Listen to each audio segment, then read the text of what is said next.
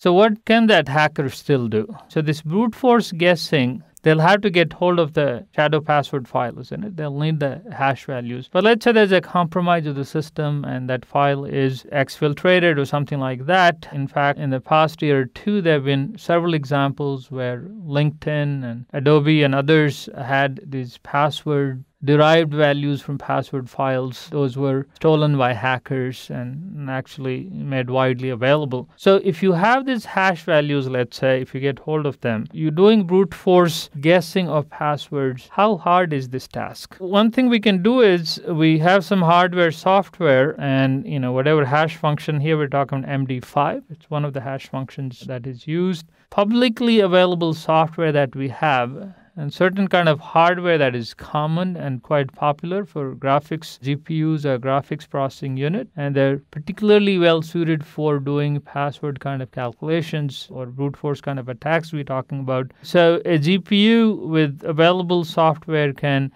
do 10 to the power 8 so that's 100 million hashes it can compute and check per second Okay, so if the password is only, let's say, six random upper or lowercase, okay, 26 uppercase, 26 lowercase, or digits, that'll give us 62 total number of characters. If you have 62 possibilities and if it's six character long, the first character there are 62 choices, the second character there's 62 choices, the sixth character there's 62 choices so total number of possible passwords we can have is 62 times 62 6 times or 62 to the power 6. If you actually do your calculation, you see how much that is. Divide that number by 10 to the power 8 because that's how many we can do per second. If you try to find that out, you'll see that this calculation or this brute force attack, guessing attack we're talking about, can be carried out in about 10 minutes.